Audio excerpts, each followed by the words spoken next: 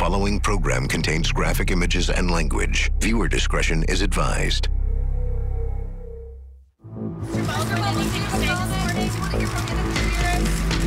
Santa Fe 911, what's the location of your emergency? We need an ambulance out at Bonanza Creek Ranch right now. We've got two people shot on a movie set. Two people accidentally shot by a prop gun.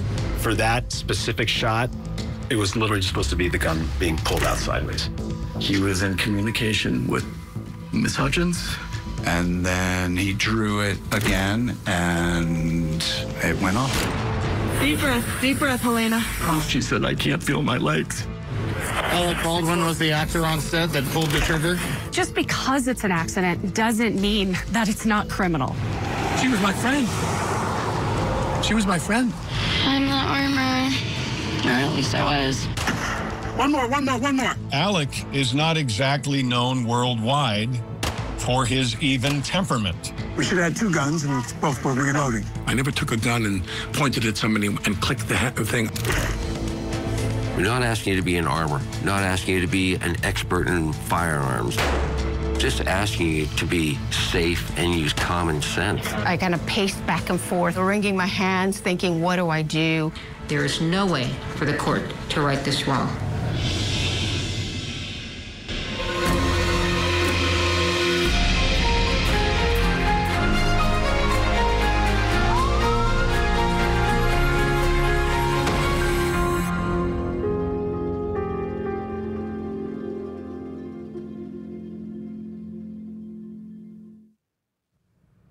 When actor Alec Baldwin shot and killed cinematographer Halyna Hutchins on a movie set in October of 2021, it sent shockwaves through Hollywood. His criminal trial, which took place almost three years later, would end up sending shockwaves through the legal community, ending in dramatic fashion in Santa Fe, New Mexico, the same place where he was filming the movie Rust. I'm Ted Rowlands, and this is Victim to Verdict, the prosecution of Alec Baldwin. Mark. Set, set, ready, and action.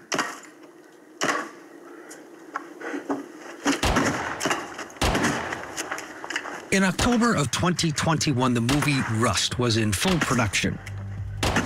One more, one more, one more. Rust is a Western. The lead actor, Alec Baldwin, playing the role of Harland Rust. Harland Rust? Rust is the story about a young kid in Kansas who accidentally shoots and kills a farmer. And he is sentenced to hang. Got a little fight too. Come on, little piggy. The story goes on that his grandfather finds his grandson, helps him escape from prison, and they're on the run. No!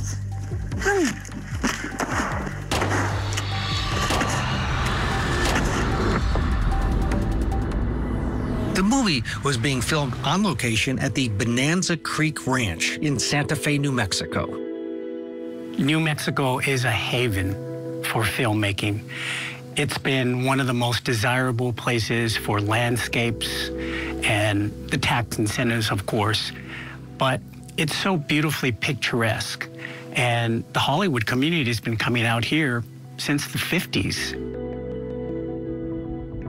Put your hand, I want you to throw your hand over his mouth. You know? Joel Souza was the writer and director of the movie Rust, and he knew Alec Baldwin from the two of them working together previously on a movie called Crown Vic.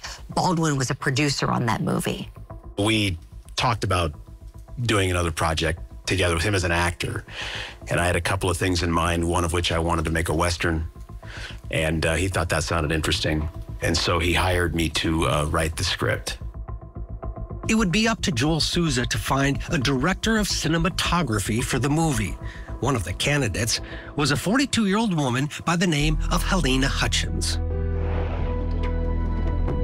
In the back of my mind, I thought, this woman is going to win an Oscar someday for best cinematographer. I just like I, I have I have DPs that I work with, and I think th- this guy's good and, and she's good and and things like that. But then there's a few that you see that like this person has talent. This person has what it takes to succeed, and and and, and I saw that in Halyna.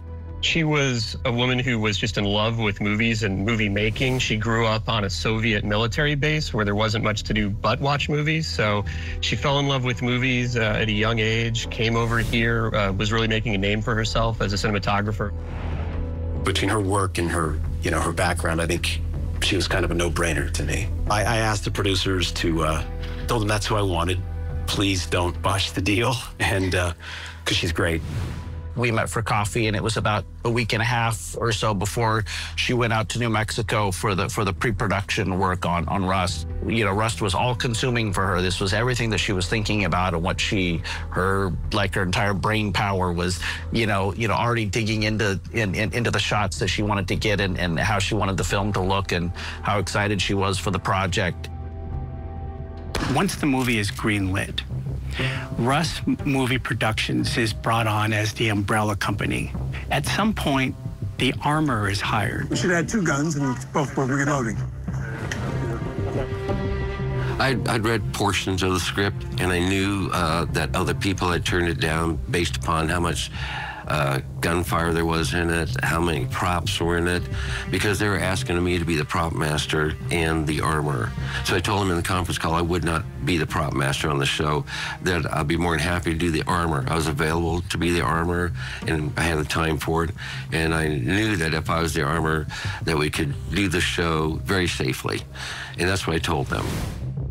The position of armorer ended up going to an industry newcomer, 24 year old Hannah Gutierrez Reed. Hannah's father is Thell Reed. He is a Hollywood legend. He's not only an armorer, he's also a stuntman and an exhibition shooter, which is really what made him famous. Another person brought on to the production, someone with decades of experience, was first assistant director David Halls. First assistant director David Halls is hired. He's got a lot of experience, decades. He's been on dozens and dozens of sets involving firearms. The first AD is like the wedding planner for a movie.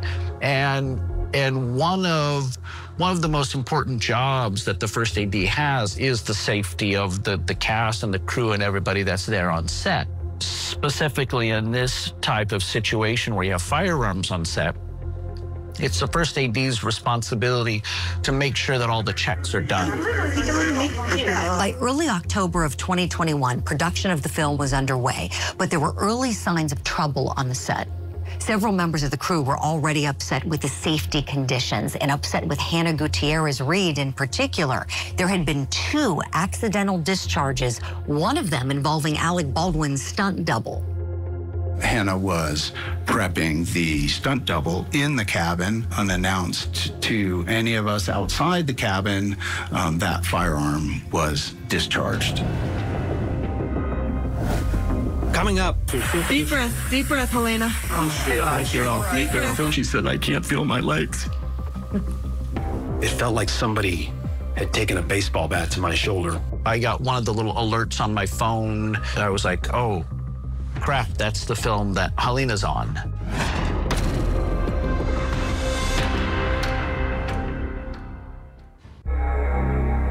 The following program contains graphic images and language. Viewer discretion is advised.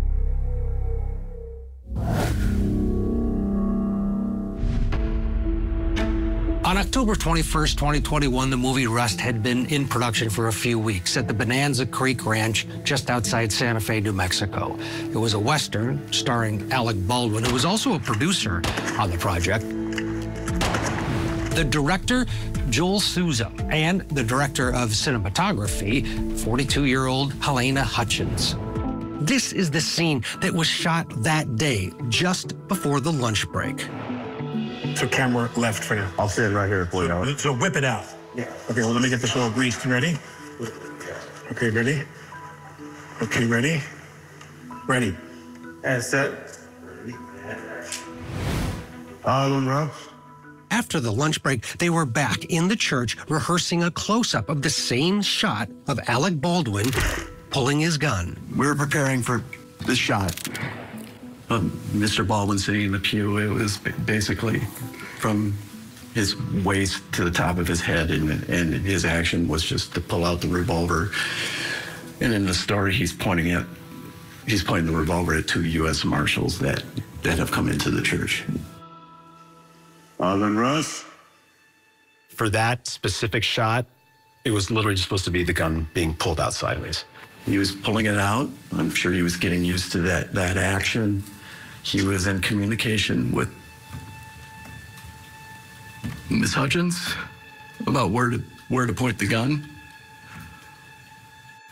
And then he drew it again, and um,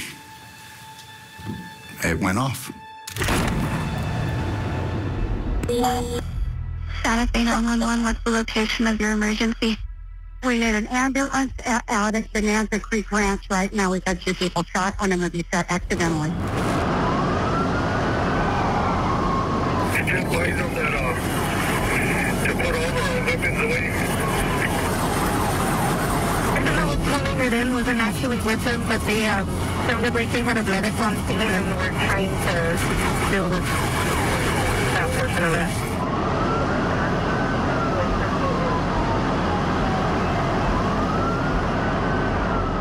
think the first person I made eye contact with was was Halyna, who was clearly injured. She was starting to go flush, and uh, I think holding her her right side. She said, "I can't feel my legs."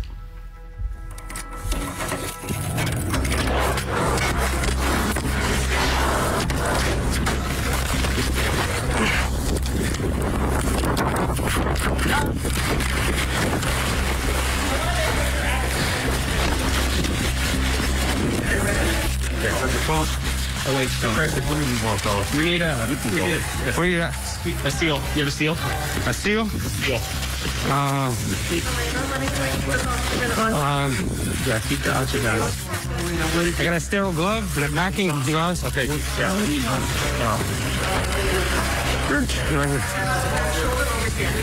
Are you over there? Over there? Okay. Yeah. My hand is on it. Talking. Where's that? Uh, your right shoulder. Stop. Oh, we're gonna get you up. First, she shot her. She came in here and went across her chest. And came. Okay. You want air, air flight? Yeah, we all went in rock. Okay.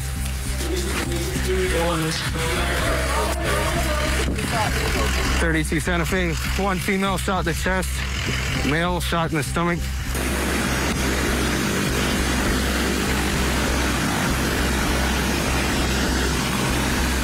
While Halyna was airlifted, Joel Souza was taken by ambulance to St. Vincent Hospital in Santa Fe. He was conscious the entire time while also talking with a sheriff's deputy, trying to tell him what happened. At the same time, he was also asking about Halyna. and it felt like somebody kicked me in the shoulder. And then I was down on my ass. And then I looked over and see the cinematographer, Halyna Hutchins, with blood coming out of her back. She was between me and I think where the gun went off, and I think it went through her and into me. Do you know anything about what's going on with her? Is she okay? Back at the Bonanza Creek Ranch, investigators were trying to determine exactly what happened. Initially, they focused their attention on Alec Baldwin, who pulled the trigger, and the armorer, Hannah Gutierrez Reed. We're requesting that you and Ms. Gutierrez uh, conduct interviews back at the Santa Fe County Sheriff's Office. Um, yeah, if, uh, and if You- you tell me what to do. You tell me what to do. Um, we would appreciate that, and then we'll. When do you want me to do that? Uh, we're gonna probably go right now. Okay. What is your full name? Hannah. Age and age. Gutierrez. I'm the armor. Or at least I was. They end up taking both Alec Baldwin and Hannah Gutierrez Reed down to the sheriff's department to do formal interviews. The interview was an hour and 13 minutes long with Alec Baldwin. And at the very end, the lead detective tells him that Halyna Hutchins has died. I do have some very unfortunate news to tell you. Um, she didn't make it. No. Yeah. Well, drove to the hospital. Sorry. I got one of the little alerts on my phone, the little news alerts, and it was um, from from from the Hollywood Reporter, and I was like, oh, crap, that's the film that Halyna's on, and then um, several hours later was when when the the news updated and said that it was her that had gotten shot and that, that she didn't make it. Coming up. This has been surely the worst situation I've ever been involved with. Alec is not exactly known worldwide for his even temperament.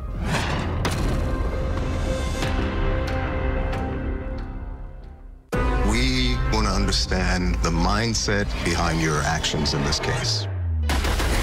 Tell me, why are you here? She needed payback. Payback with her life? Very funny, really. I'm laughing. You see me, I laugh. I don't want any of this. Are you not prepared today to take responsibility for any of your crimes? Interview with a Killer, a Court TV original series. Premieres next Sunday, 8, 7 Central, only on Court TV.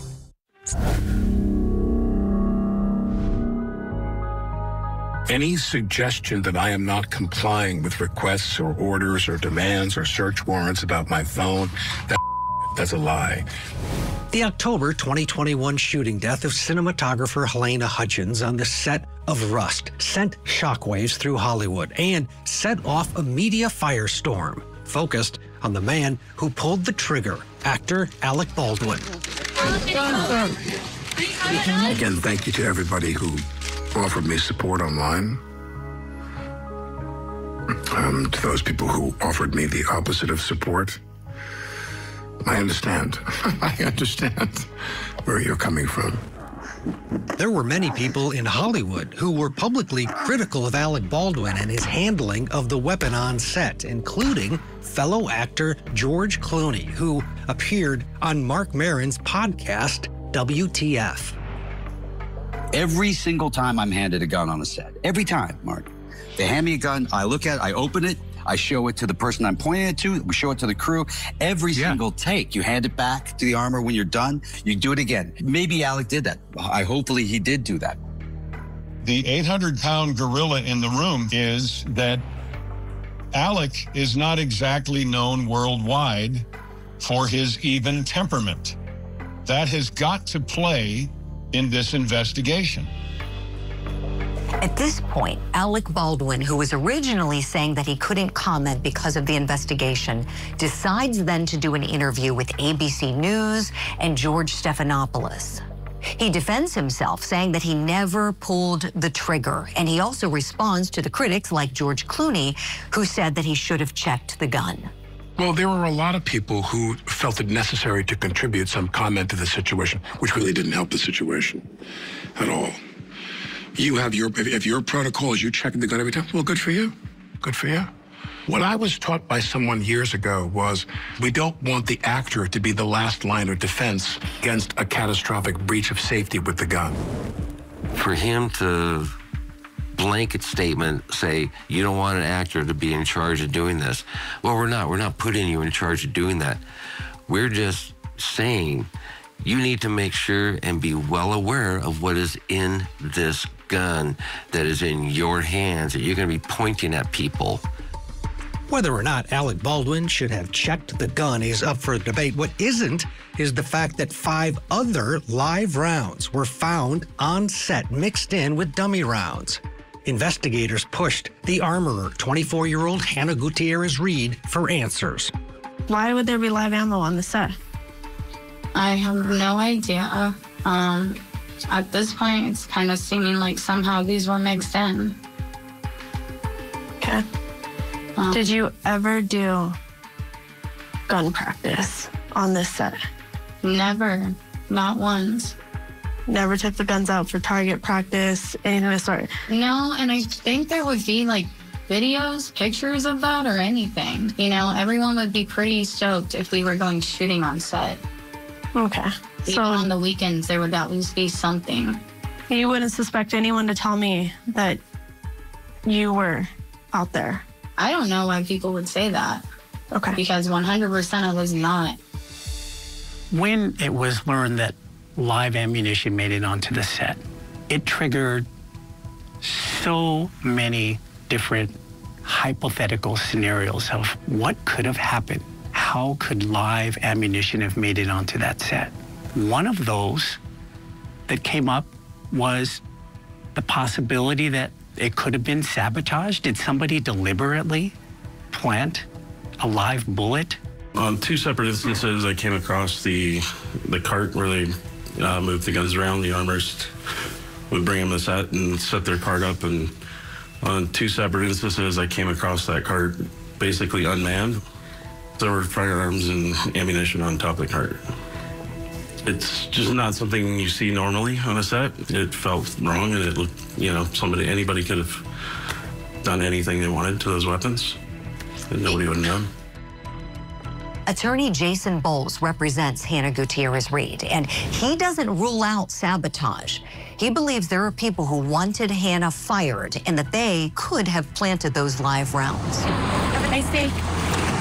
What if there had been some scheme to have live rounds on set, not to have anybody hurt, not to have anybody shot, but just have them on there so Hannah, they'll find them and Hannah's going to be fired? Well, nobody ever even looked at that. The other obvious potential source of these live rounds was the ammunition supplier. And for this movie, it was a guy by the name of Seth Kenney.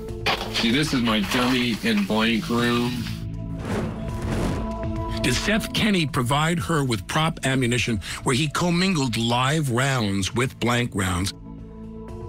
Seth Kenney was cleared in the criminal investigation and maintains that he believes the live rounds were brought on set by Hannah Gutierrez. Coming up, Alec Baldwin claims he didn't pull the trigger when he pointed the gun at Halyna Hutchins. I never once said, never, that the gun went off in my hand automatically. Pretty good chance that he pulled the trigger, subconsciously, we'll say.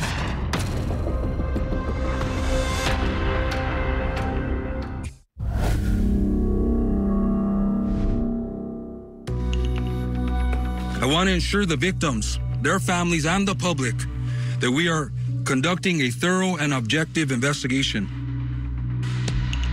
In the weeks and months after the Rust movie shooting, the focus on the investigation was centered on three people. The armorer, 24-year-old Hannah Gutierrez Reed, assistant director David Halls, and actor Alec Baldwin, who was maintaining in interviews, including the one that he did with ABC's George Stephanopoulos, that he didn't pull the trigger when he shot and killed Halyna Hutchins. It wasn't in the script for the trigger to be pulled. Well, the trigger wasn't pulled. I didn't pull the trigger. So you never pulled the trigger? No, no, no, no, no. I, I would never point a gun at anyone and pull a trigger at them. Never. As expected, criminal charges were filed against Hannah Gutierrez and David Halls.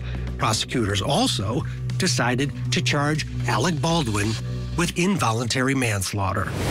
Every person that handles a gun has a duty to make sure that if they are going to handle that gun, point it at someone and pull the trigger, that it is not going to fire a projectile and kill someone.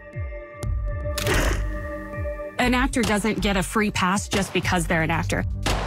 I never once said, never, that the gun went off in my hand automatically. I always said I pulled the hammer back and I pulled it back as far as I could. I never took a gun and pointed at somebody and clicked the thing. The FBI tested the gun and determined that the trigger was, in fact, likely pulled by Alec Baldwin. Armorer Scott Rasmussen, who interviewed for the Rust job, showed us why, to him, Baldwin's account that he only pulled the hammer back doesn't make sense. So if you pull the hammer back and it's not going to fire by itself, and if you take a mallet, it's not going to fire until you pull the trigger. In that church scene that was filmed before lunch, there's video footage of it. Alec Baldwin seems to have his finger on the trigger, or at least it's right next to the trigger. And Scott says that could explain how the gun went off. It's almost hard not, if you have your finger there, it's almost hard not to pull it and pull And pull the trigger, yeah.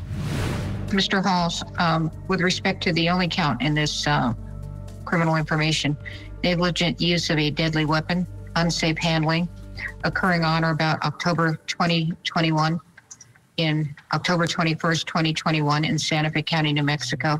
How do you wish to plead? Uh, no contest, Your Honor.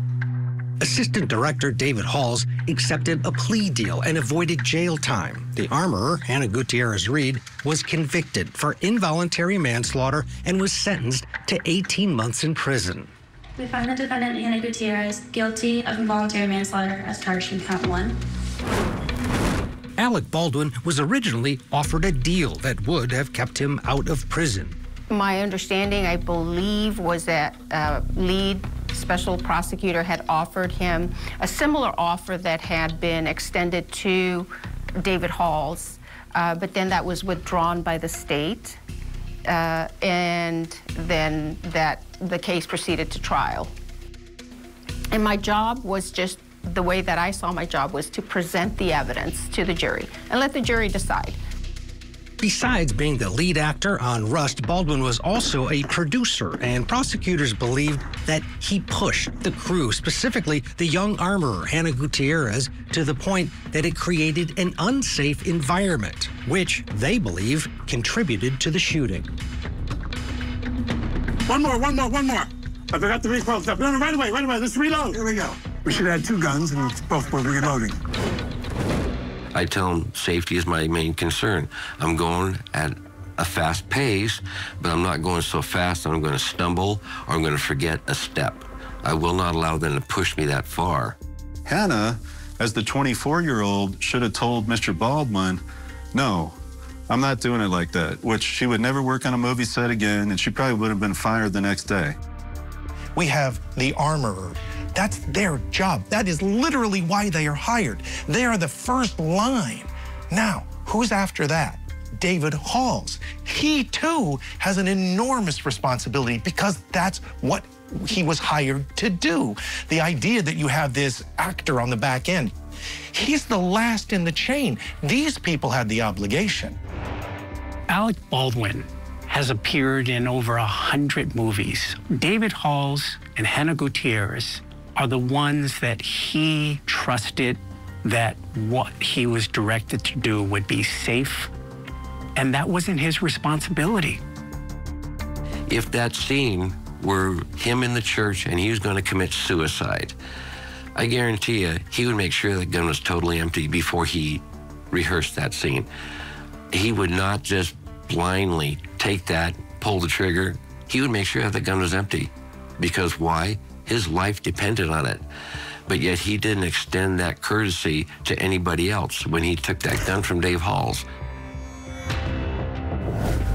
Coming up, the courtroom showdown. You told one of the witnesses who disagreed with you during an interview that you thought Mr. Baldwin was a. I do not recall saying that. And the shocking end, which left Alec Baldwin in tears and the prosecution team at odds. I had written on a sticky note, I'm going to move to withdraw. I can't continue on this.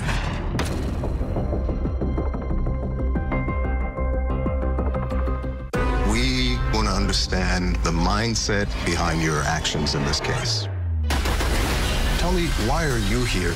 She needed payback. Payback with her life? Very funny, really. I'm laughing. Did you see me? I laugh. I don't want any of this. Are you not prepared today to take responsibility for any of your crimes? Interview with a Killer, a Court TV original series. Premieres next Sunday, 8, 7 Central, only on Court TV. Mr. Baldwin, anything to say this morning? Do you want to hear from Hannah Gutierrez? In July of 2024, with the world watching, Alec Baldwin went on trial in Santa Fe, New Mexico. Mrs. Baldwin, anything to say? Baldwin was charged with involuntary manslaughter after he shot and killed cinematographer Halyna Hutchins on the set of the movie Rust. Special prosecutor Kari Morrissey and attorney Erlinda Johnson were handling the case for the state of New Mexico. We were confident. I was confident. The way he handled the firearm on October 21st, which was essentially pointed at another person, cocked it and pulled the trigger.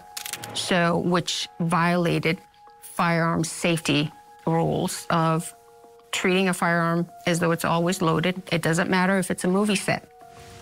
You are going to conclude and be convinced beyond a reasonable doubt that the only true and just verdict in this case, so that true justice can be served, is a verdict of guilty to involuntary manslaughter. Alec Baldwin had a team of attorneys led by Alex Spiro and Luke Nikas. This was an unspeakable tragedy, but Alec Baldwin committed no crime. He was an actor acting, playing the role of Harland Rust. An actor playing a character can act in ways that are lethal, that just aren't lethal on a movie set. These cardinal rules, they're not cardinal rules on a movie set. And I don't have to tell you much more about this because you've all seen gunfights in movies. And the reason that can happen is because safety is ensured before the actor. In the gallery, Alec Baldwin's family, including his wife Hilaria and brother Stephen. And the tension in the courtroom, especially between the prosecutor, Kari Morrissey, and the defense team, was extremely high. The acrimony in the courtroom, I didn't like that. Now, we're on opposite sides of the courtroom. Each side is going to advocate for his or her position, for his or her side. But there's no need to have that absolute, I don't want to say hatred, but there's just this acrimony. I mean, I can't think of any other word. By day three of the state's case with the lead crime scene technician on the witness stand, it was evident the defense was focusing on how live rounds were found on the movie set. Was there any live ammunition on the plow truck? No. So I want to ask you something, um, Investigator Poppell. It, did that surprise you? No, not necessarily. During cross examination of the crime scene technician, Alex Spiro, the lead defense counsel, begins to focus on the ammunition. What prosecutors didn't know was that the defense had been tipped off before trial about this man. His name, Troy Teske. Months before the trial, he had turned over some bullets to the Santa Fe County Sheriff's Department that he said were related to the Rust movie shooting. I don't want to That's fair. That's fair. What do you guys think about? Uh, yeah, I don't care what you do. I just don't want to have it. Troy Teske, who had been uh, a good friend of the armorer's father, he traveled to Santa Fe and had brought some ammunition with him. And so then he proceeded to the sheriff's department to turn over this ammunition, representing that this was possible evidence that it may be related to rust. Troy Teske's ammunition was taken in by investigators, but it was filed under a different case number intentionally, which now was a big problem. Teske's in Santa Fe, sees what happens, shows up at the sheriff's office, as we heard from Ms. Poppell, and delivers that live ammunition that Hancock had not preserved, that Ms. Morrissey had not collected. Troy Teske is the one who turned in this evidence. The um, evidence was tagged in under a separate case number. The report was also under that separate case number. It had not been turned over to the defense. The question now was because they had used a separate case number, had the state essentially withheld potential evidence from the defense? Prosecutor Kari Morrissey downplayed the situation, telling the judge that she didn't believe the Troy Teske ammunition had anything to do with the Rust shooting. I understand from the witnesses that the ammunition was sourced originally from Thell Reed. It was sourced from Hannah's dad. It's not a match. Not only is it not a match when you look at it, it's not a match when you send it to the FBI and you ask them to conduct chemical testing. Um, so this is a wild goose chase. Coming up, the judge wants to see the Teske ammunition for herself. I kind of paced back and forth, wringing my hands, thinking, what do I do? Plus, a dramatic showdown as prosecutor Kari Morrissey takes the witness stand trying to save her case. You don't like Mr. Baldwin very much, do you? And remembering cinematographer Halyna Hutchins. She was on this cusp of achieving what she set out to achieve.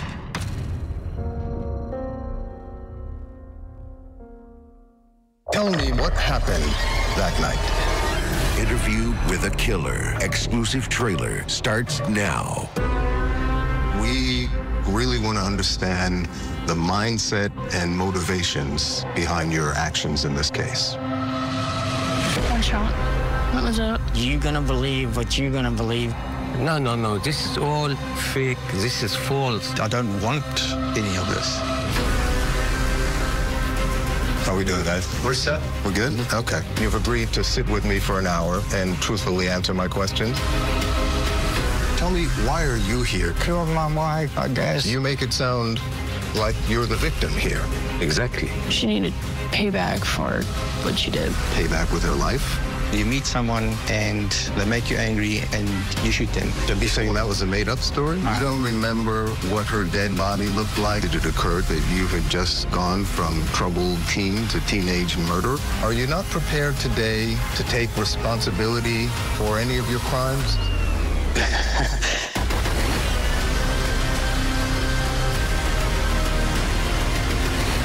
Hell yeah, come on with it. Very funny, really. I'm laughing. Did you see me? I laugh. Interview with a Killer, a Court TV original series, premieres next Sunday, 8, 7 Central, only on Court TV.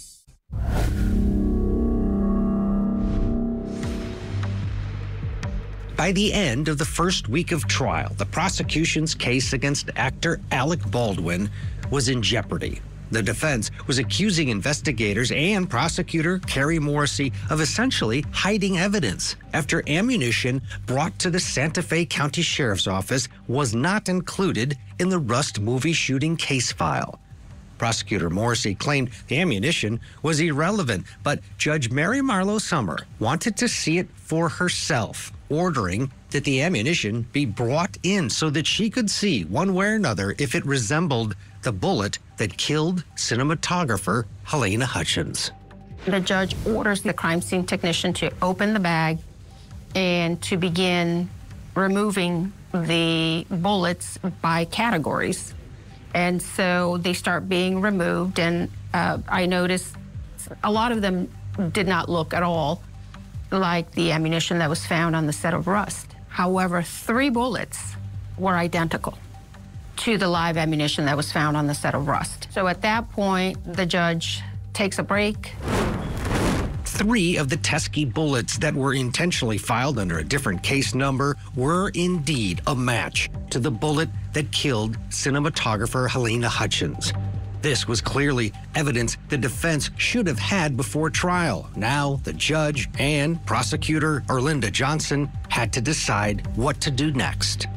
Something in the pit of my stomach did not feel good. This just doesn't feel right. And you know when something just doesn't feel right, it just, you feel disgusted. Everybody else headed to the courtroom.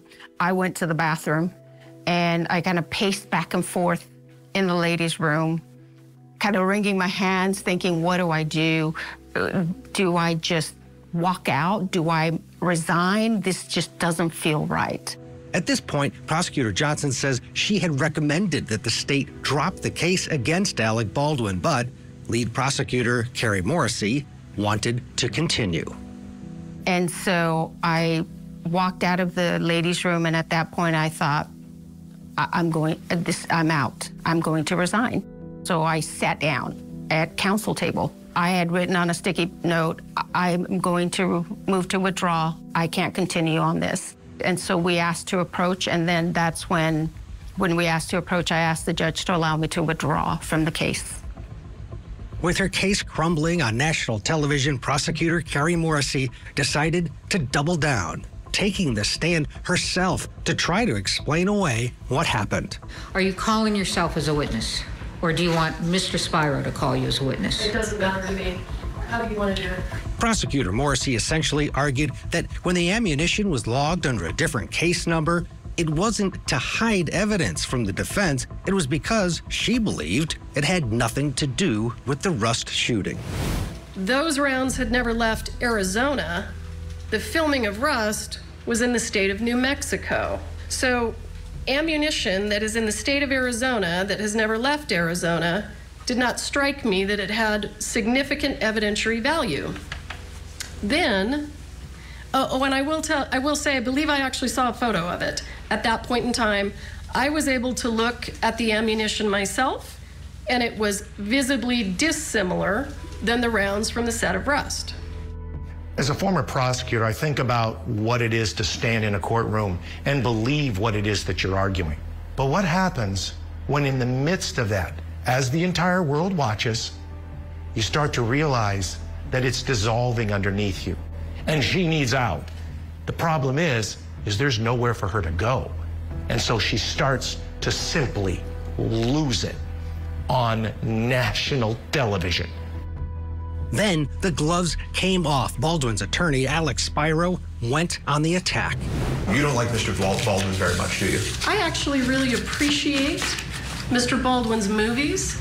I really appreciated uh, the acting that he did on Saturday Night Live, and I really appreciate his politics. You told one of the witnesses who disagreed with you during an interview that you thought Mr. Baldwin was a.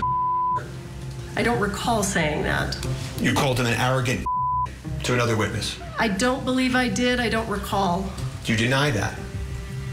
Without knowing what you're talking about, I, I, all I can tell you is that I can't respond if I don't know what you're talking about. With regard to the lead special prosecutor, there absolutely was a lot of acrimony between her and the defense team that was really, in my opinion, unnecessary. With Alec Baldwin and his family in tears, Judge Mary Marlowe Sommer made her decision. The state's discovery violation has injected a needless, incurable delay into the instant jury trial. Dismissal with prejudice is warranted to ensure the integrity of the judicial system and the efficient administration of justice. Your motion to dismiss with prejudice is granted. Alec Baldwin was free to go. The judge ruled he could not be retried. This case was over. The unfortunate part is, I don't think that she set out to hide this evidence from the defense intentionally. I think she sincerely believed this is immaterial, irrelevant to the Baldwin case. But I don't believe that that was a, um, a wise decision. No, we didn't. We did everything humanly possible to bring justice uh, to Halyna and to her family, and we're proud of the work that we did. Uh, again, we disagree with the court's decision, but we have to respect it. The decision of the court does not exonerate Alec Baldwin because it is not a decision on the merits of the prosecution's case and the evidence that they were going to present against Alec Baldwin. When, when I when I think about Helene, I think about the the potential that she had as, as an artist, as, as a cinematographer, um, I I knew that she was going to go on to do great things. She, she she had already accomplished really great things, and I knew that that trajectory of hers was was was going to continue to go up.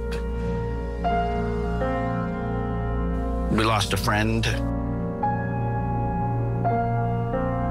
And, and, and, and she was a wife and, and, and, a, and a mother and um, a daughter and a, a sister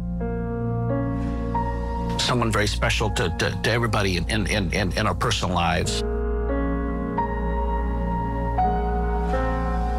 I just hope that that during all this it doesn't get lost. The the the fantastic person that Halyna was. Nobody goes in to this expecting that they're gonna die or get seriously injured on set. If anything good comes out of the tragedy of Halyna's death, it's that we can phase out the use of real weapons on set so that this never happens again. The movie Rust was eventually finished. Halyna Hutchins' husband was named an executive producer, allowing the family to receive some of the net proceeds from the film. As for Alec Baldwin, because of the judge's ruling, he can never be retried in this case unless a court of appeals reverses the judge's decision. I'm Ted Rowlands. Thank you for watching Victim to Verdict.